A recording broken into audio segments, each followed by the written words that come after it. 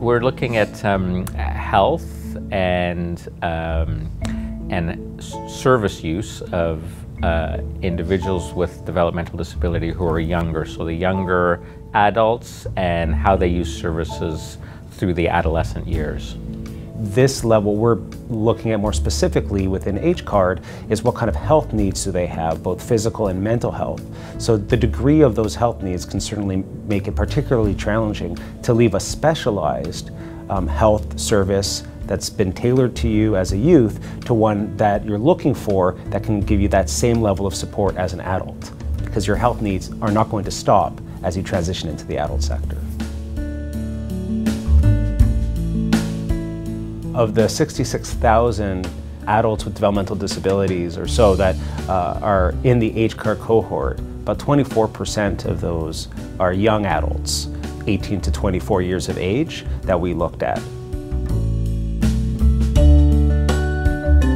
This group of young adults with developmental disabilities is particularly prone to um, poorer health compared to uh, young adults without developmental disabilities in the province.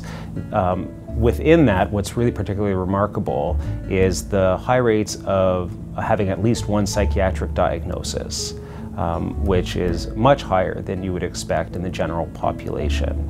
We also took a closer look at um, those with ASD um, and uh, similar questions in terms of what do their health profiles look like, who are they, and how are they using services. There are certainly particular psychiatric needs that are much higher in this group of young adults with autism spectrum disorder. From a physical health perspective, those with ASD and other developmental disabilities were actually relatively similar people with ASD were visiting emergency departments significantly less often than those with other developmental disabilities. And it makes you ask what's going on there. The families have experienced what it's like to go to the emergency department, and it's such a problem that they're choosing other places to go, or they're seeking care, or if they're seeking care, in other ways.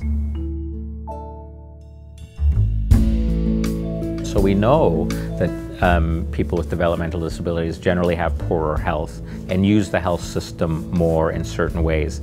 Those things start very early in life.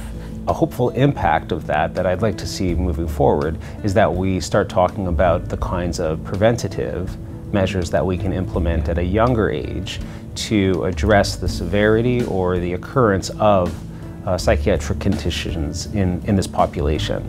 Though this project is focused in name even on healthcare, when we think about transitions for developmental disabilities around this age group, uh, it's across many different sectors.